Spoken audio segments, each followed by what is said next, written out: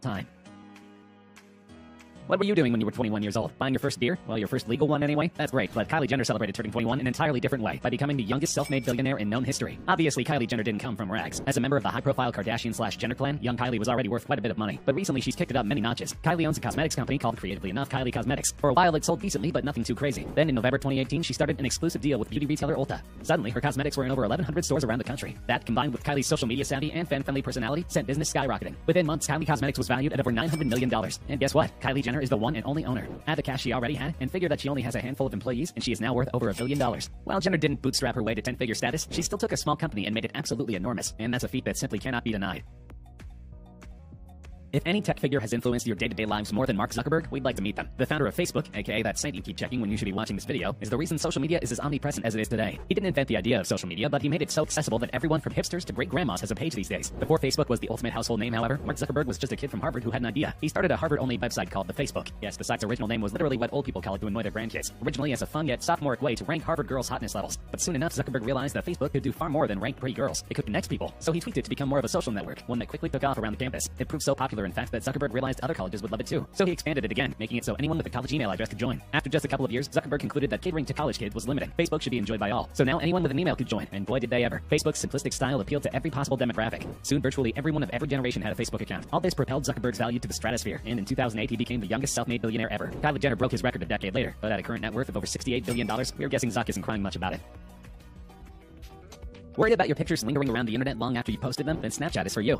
It's apparently also for a ton of people, judging by how quickly their CEO and co-founder Evan Spiegel became a billionaire off the app. Spiegel was born wealthy, with both his parents being high-priced lawyers who resided in Malibu, California. Spiegel went to an expensive private school and later to Stanford. There he met fellow tech nerds Bobby Murphy and Reggie Brown. Together they designed an innovative app called Picaboo, where you would send pictures to your friends that would disappear moments later. It was social media sharing for people who value privacy. In 2012, Spiegel left Stanford and began working on Picaboo, now called Snapchat, full-time. The move paid off, as the company quickly grew in popularity. It grew so big, in fact, that in 2013, Facebook owner Mark Zuckerberg offered to buy it for an incredible $3 billion. How many people would say no to that much money? Spiegel did, telling Zuck to buzz off. He believed Snapchat was his, and he would make his billions using it, not by selling it. He was right. In 2015, Spiegel joined the Billionaires Club at the tender age of 25. In 2017, he received an incredible $800 million cash bonus after successfully taking Snapchat public. At his peak, he was worth over $4 billion, more than Zuckerberg was willing to pay him to go away. In 2018, Snapchat lost almost $800 million when Rihanna called for her fans to delete the app after it posted an offensive ad. Just a short while later, Kylie Jenner tweeted, Does anyone else not open Snapchat anymore? That single statement cost the company $1.3 billion. Don't cry for Evan Spiegel, though. He's still worth around 3 billion. Though we're sure he'd rather influential celebrities not go after his poor little app ever again. Checks are dead, nobody carries cash, and online payments are all the rage. So companies like Stripe, which lets both businesses and individuals send money over the internet, are in high demand. The brothers in charge of Stripe aren't just in high demand, they're in the money. Sean and his brother Patrick, whom we'll talk about later, are Irish entrepreneurs who founded a software company called Shuppa in 2007. Within a year, Shuppa had both merged with another company and got bought out entirely. This gave the 17-year-old Collison a decent amount of money, which he used to attend and graduate from Harvard University. After leaving Harvard in 2009, the Collisons co-founded Stripe. It paid off, as six years later, Stripe has grown so huge that both Collisons were bona fide billionaires. Sean was just 26 at the time. Today, he's still going strong, with a net worth of over $2 billion. Not bad for the owner of the company that's essentially PayPal, only not.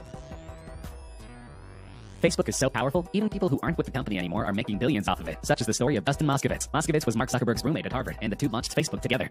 Moskovitz served as the company's chief technology officer until 2008, when he left to strike out on his own. However, even though he no longer worked for Facebook, he retained a 6% stake in the company. In 2010, when Facebook ballooned in value, that minority stake made Dustin Moskovitz a billionaire at age 26. Nearly a decade later, being a singular billionaire must feel old hat to Moskovitz. He's currently worth over $11 billion, thanks to those Facebook shares being more valuable than ever. In addition, the project management tool he founded after Facebook, Asana, is currently valued at $1.5 billion. Once Asana becomes profitable, who knows how heavy Moskovitz's wallet will be.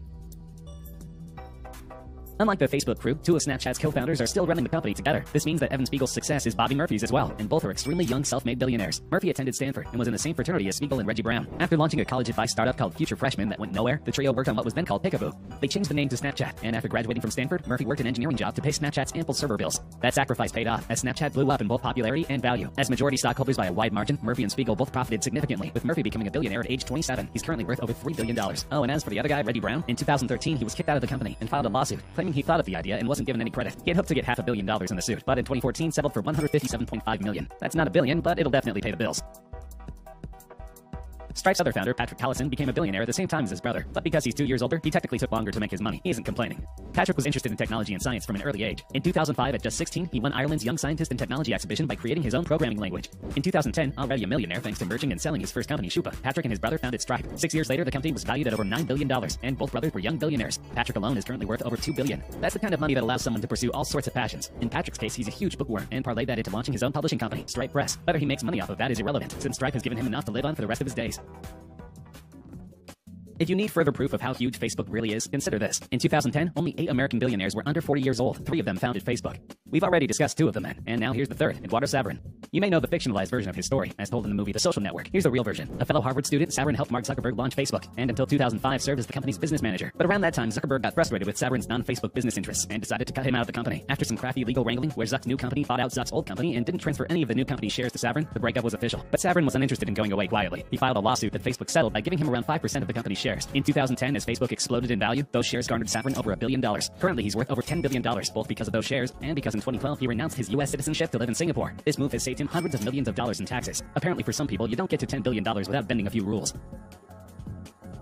Google, the search engine to end all search engines, is practically synonymous with the internet. It's ubiquitous as both a noun and a verb. If you say you Googled something, people know exactly what you mean. And it all started with one young billionaire, self-made tech guru Sergey Brin. Brin attended Stanford and met a kid named Larry Page during orientation. The two formed a bond, at least partially because both realized the world needed a better search engine. They created one called Google that was powered by their very own algorithm called PageRank. This algorithm analyzed the amount and ranking of a website's backlinks to determine how high or low the site would appear in a Google search. Google took off at Stanford, and once it became available to anyone with a computer, it completely revolutionized web surfing. It became so huge that when the company went public in 2004, it was already valued at $27 billion. This made Brin just a few days shy of 31 years old an overnight billionaire. 15 years later, Google and Sergey Brin show absolutely no signs of stopping ever. Google is currently worth about $300 billion, and its parent company Alphabet is worth an incredible 900 billion. Since Sergey Brin owns both, he's making money like crazy. He is currently the 10th richest person on earth, with almost $54 billion to his name. Not bad for a website that upon first glance is a white screen and a search bar and not much more.